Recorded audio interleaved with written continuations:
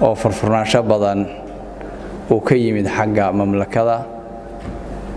Taasoo sahlaysa qofku inuu cibaadadiisii wakhtiyaal badan furas u helo oo uu soo guto iyadoo weliba qiimuhu aada macquul u yahay. Marka hore dadka ku howlan waa u mahad celinaynaa oo howlaha soo nidaaminaya oo khadadka isku soo xidhaya oo dadka isku aadinaya oo ka shaqaynaya si dadku cibaadadoodii si howlsami ah ay u gudan lahaayeen. Wakhti badanna ku bixinaya. Waxaan leenahay jaziitum khayran. Waxaa kaloon u sheegaynaa muddada hore inta dadku baranayo inaan faa'iido la raadinin. Maxaa yeelay bulshaduna weli ma baran. Waana cibaado oo howl wax laga raadiyo uma badna. Qodobka labaad wax kasta markuu bilaawen yahay wuxuu u baahan yahay dhimrin iyo soo dhoweyn iyo gacmo furan. Marka waxaan leenahay shirkadaha howlaha wadaa dadka soo dhoweeya arrimaha u fududeeya waxa ka raadinina kharashaadkiinna waa iskaga qasbantihiin iyada inaad ka raadisaan laakiin inuu riic badan ka soo noqdo yaan laga rajayn. Laakiin dadka ha lagu dhiirigeliyo. Bulshadana waxaan leenahay cibaadadu qofka daxalka ayay ka maydhaa. Khayrka iyo wanaagga u baxayo qulubta ayay nadiifisaa. Howlihii iyo shaqadii iyo wixii lagu jiray markaad xoogaa muddo cibaado u baxdid muddadaa aad ku maqan tahay waxaad taqriiban helaysaa safaa'u dihni. Maskaxdaadii iyo qalbigaagii iyo baa xoogaa khaali noqonayo nadiif noqonayo. Cidladaas iyo xaramka ilaahay iyo cibaadada iyo adiga markaa isu keli noqotaan waa nooco min atasawuf a waay. Marka khayr badan baa qofka nafsiyan iyo ruuxiyan u soo kordhaya waxaa loo baahanya marka muddadaa qofku inuu isku dayo inuu cibaado iyo khayr uga faa'iidaysto. Meel dalxiis loo tago ma aha. Qalbigaaga waa inaad dalxiis ka saartid. Meel shaqo loo tago ma aha. Laakiin shaqada waa la ogol yahay. Shaqada waa la ogol yahay meel sideedaba arrimo adduun iyo xoolo.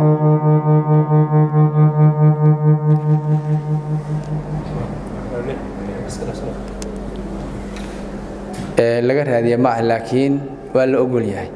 Dalxiis isaga lama ogola. Laakiin kuwan kale waa laynoo ogol yahay. Dalxiis waa wax inaga yimid reer galbeedka xaggiisa.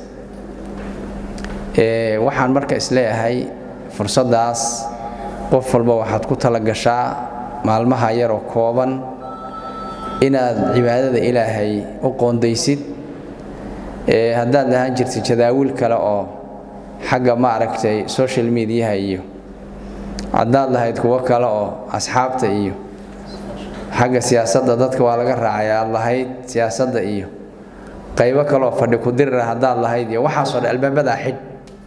Waa muddo yaroo kooban labada asbuuc waxaad isku daydaa albaabadaas oo dhan inaad soo xidhid. Xataa ehelkii iyo awlaaddii iyo waxaan salaam yar ka ahayn.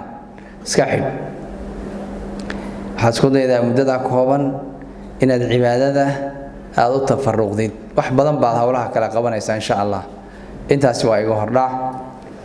Waxaan u gudbayaa hawsha aan u soconno waa cumra cumradu waa macnaheedu waa ziyaara af soomaaliga ee af carabigaan u jeedaa af soomaaligana waa booqasho.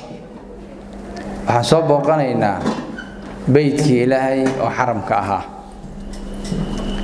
Isaga ayaan soo booqanaynaa.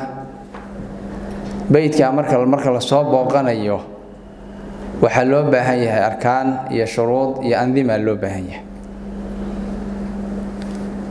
Shuruuddiisa waxaa ka mid a qofku inuu markuu beydka ilaahay soo booqanayo haddii uu rag yahay dharkan caadiga uu iska bixiyo. Oo dharkii cadcaddaa uu xidho. Howl adduun waa laga tegey waa astaan muujinaysa in howl aakhare lagu jiro. Qofka marka godka aan gelinayno laba go' oo cadcad baan u soo gadnaa. Labadaasaa lagu kanfaa iyaga ayaa godka kula saaxiiba halkaana waxaa laguu sheegayaa meeshaan inay tahay meeshii kafanka oo kale oo xaggii aakharo hawsheedii weeye. Hawl adduun ma aha. Labadan go' cadcadaad u jeedaan. Waxa weeye tarjumaad waaye. Meel bay ka shaqaynayaan ka hadlayaan. Ciyaar yaan loo qaadanin. Sidaa labadan go' u qaadanaysid baa adduunka markaa ka tegaysana labadan go' baa lagu siinayaa waxaa la rabaa marka in lagu tusiyo adduunkan adoo qaawan baa timid adoo qaawan baa ka tegaysaa. Hantidan iyo xoolahan iyo adduunkan iyo waxaan soo gaadhay wax ku raacayaa ma jiraan. Labadan go' cadcad baa kaa raacaya. Wixii aad maanta shaqaysatana waa ku raacaya labadaa marka waa shardi. La'aantood lama rabo dumarka ilaahay waa u fududeeyey.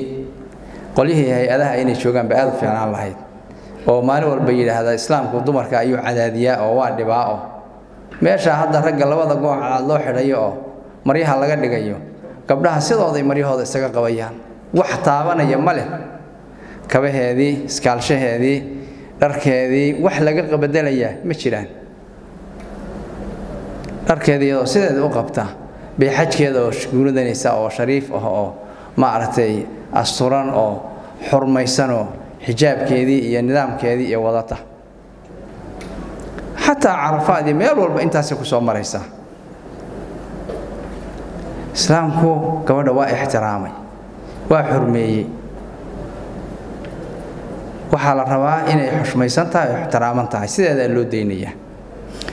Keliya waxaa gabdhaha la yidhi wejiga ha furnaadaan. Waa shardi iyagana wejigu inuu furan yahay waxaa laga mamnuucay niqaabka. Haddii gabadhu ay u baahatay niqaabka koofiyadahan bay xidhanaysaa fooda leh kadibna niqaabkeeda bay ka lalminaysaa oo wejiga inuu taabto lama ogola. Shardigaa marka rag iyo dumarba intaasaa laga rabaa. Ragga madaxa inuu wax saaro waa mamnuuc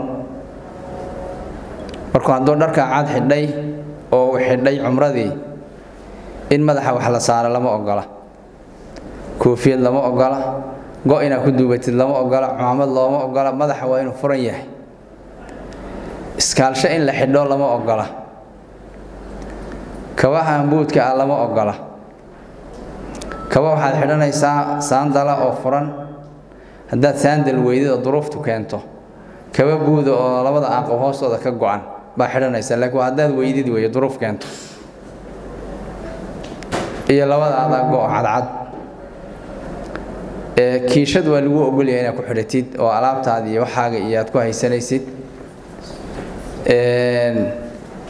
Gabdhaha waxaa mamnuuc ka ah cadarka iyo raggaba. Waa ka siman yihiin kaa. Rag iyo dumar cadar lama ogola in loo dhowaado. Waxaan la ogolayn rag iyo dumar timaha mar haddaad xidhatid in wax laga gooyo lama ogola waa mamnuuc. Waxaa sidoo kale mamnuuca reerkii wada socda muddadaas ayagana hawl adduun weeye hawl adduun oo dhan baa xidhanba waa iyaduna mamnuuc weeye ilaa laga dhammaynayo. Waxyaabaha marka waxaa la yidhaahdaa waxyaabaha muxaramaadka ah oo qofka laga mamnuucayo. Dahaara ayaa waajiba oo shardi ah sida salaadda markaan gelayno aynu u weyse qaadanayno. Marka aad rabtid cumrada inaad gashid ayadana waa weyse qaadanaysaa ixraamka marka hore ood xidhanaysid shardi ma aha laakiin waa fiican tahay. Laakiin kacbada mar haddaa gaadhid oo kacbada ku dawaafaysid waxaa shardi ah inaad weyse qabtid. Wixii ka sii shisheeya oo dahaaro qaadasho ahna waa min baabi awlaa. Hadduu qofku qabays u baahan yahay gabadhu haddii ay caado qabto ma dawaafaysa kacbada. Maxaa yeelay shardi baa ka maqan dahaaradii baa ka maqan. Daahir ma aha. Marka ma dawaafayso. Way iska dibdhiganaysaa markii ay caadadeeda ka baxdo bay hawsheeda gudanaysaa. Fursad bay haysataa laakiin sacyiga way la iman kartaa. Inkastoo hadda masaajidka uu galay sacyigu mamnuuc kama aha. Sacyigeeda waa la iman kartaa waxaa laynaga rabaa afar rukni. Markaynu xidhanayno cumrada rukniga koowaad waa inaynu niyeysanno inaan soo cumraysanayno. Haddaad afka ka tidhaahdid laa ba'sa bih aad tidhaahdid labayka cumra wax dhiba ma leh. Haddaad qalbiga ka tidhahdo waxba afka ka dhihinna waa kuu saxiix weeye oo qalbigaaga ka go'aansatid inaad cumraysanaysid kadibna aad talbiyada iyo labaykadaada bilowdid. Kaasi waa rukniga koowaad oo xidhashaan lahaa iyo niyo rukniga labaad waa in kacbada lagu dawaafaa. Toddoba jeer oo meeshii laga bilaabay markaad ku soo noqotid kow la dhahayo rukniga saddexaad waa in sacyi bayna safaa walmarwa lala yimaado. Waa toddoba jeer isaguna. Laakiin kii hore wuxuu kaga duwan yahay meeshaad ka bilowday markaad ku soo noqotid labaa la dhahaya. Tan marka go-an baag sii socod iyo soo socod waa la kala tirinayaa. Laakiin dawaafka sii socod iyo soo socod waa isku mid. Labadaa mid walba toddoba isna laga rabaa waa rukni. Rukniga afraad oo ugu dambeeya waa xiirasho ama gaabsasho. Ragga inay gaabsadaanna waa u bannaan tahay. Inay xiirtaanna waa u bannaan tahay. Waxaase fadli badan inay xiirtaan. Gabdhaha inay xiirtaan uma bannaana. Keliya waxaa u bannaan inay gaabsadaan. Gaabsashadana timahoo dhan lagama rabo. Timaha waxaa fiican saddex qaybood inay gabdhuhu u kala xidhaan. Qayb hore iyo qayb gadaal ah iyo qayb dhexda ama afar qaybood midkii u fudud qayb walba inta afarta hore ah in la eg baa laga jarayaa. Haddii aysan samaynin hal qayb ay ka jartana waa u ansaxaysaa cinda shaaficiya laakiin waxaa fiican inay afartaba mid walba xoogaa yara ay afka hore aan waxba yeelaynin ay ka goyso. Afartaa rukni mid ka mid a haddaad ka tegtid cumradaada waxba kama jiraan cumradaadii wax ka jiraa ma jiraan mid waa kii lagu xidhanayo haddaadan xidhanin xal ma leh. Inaad mar labaad markaad tegtid magaalada ka baxid maahaani dawaafkani haddaad ka tegtid cumradaadii waxba kama jiraan. Laakiin haddii laguu sheego waa ku noqon kartaa waa soo dhammaysanaysaa sacyigu waa sidoo kale inaad ku noqotaa laguu ogol yahay afartaa markaad dhammaysid waxaa kuu bannaan wixii aan hadda xarinoo hore. Dharkaagii caadiga ahaa baad dib ugu noqonaysaa cadarkaagii baad isticmaalaysaa reerkii wada socday waa wada degi karaan. Wixii laga xarimay waa lagu fasaxayaa insha allah haddii ilaahay yidhaahdo waa wada soconnaa culimaana loo badan yahay dadka meesha maraya. Wixii intaa ka badanna meelaheenaan insha allah haddii ilahay yidhahdo isku wacyigelinaynaa waxaa ila fiican diyaaradda oo kale way dhib badan tahayoo waxaa laga yaabaa dadka inay ku adkaato. In airboortka hadeerba laga sii xidho oo dharka laga sii qaato. Ama airboortkan ama airboortka adsabo oo transitka ah in laga xidho midkood labada midkii sahlan.